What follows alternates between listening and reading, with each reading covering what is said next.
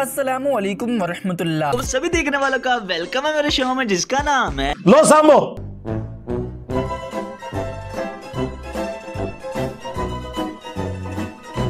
सरकार जो है गेंद लेके खेल रहे थे। रोती भी जा रही है गौसे पाक को किसी को रोता हुआ देख नहीं सकते थे।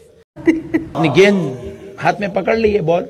ना खेलेंगे ना खेलने देंगे। पकड़ के बोले माई क्यों रो रही है? किस बात ने तुझे रुला दिया?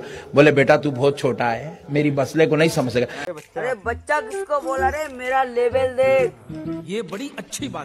खातून कहने लगी बेटा ये जो औरत मेरे साथ है ये मेरी बहू है। मनु के लेना देना। मैं इसके साथ फुला बुज़ुर्ग के पास गई थी। इसलिए गई थी कि ये मेरी बहू बने तकरीबन चौदह साल गुजर गए। इसकी शादी होगी चौदह साल हो गए इसी अब तक कोई औलाद नहीं हुई। बस। रुलाएगा क्या? मैं इसके सारे सारे इलाज करवा चुकी इससे कोई औलाद नहीं हुई। जी बहुत नाजुक सूरत हाल है।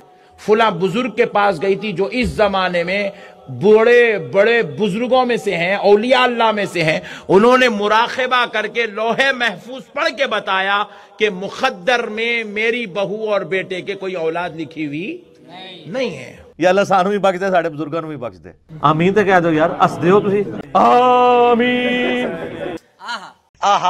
लोहे महफूज पे लिखा हुआ नहीं है अल्लाह की लानत अल्लाह के फरिश्तों की लानत तमाम लानत करने वालों की लानत हो इतने के वास्ते रोती माई जा निकल इथों अल्लाह तुझे ग्यारह पोतरे अता करेगा और लख लानत तेरे जम्मन ते छोटा बच्चा है बोल दिया हो गया था चले गए ठीक है भाई ओके भाई ठीक है भाई मैं चलता हूँ। मगर एक गम तो उसको था सता रहा था औलाद नहीं होंगी औलाद नहीं होंगी मगर नेक्स्ट मंथ गुड न्यूज़ भाई क्या?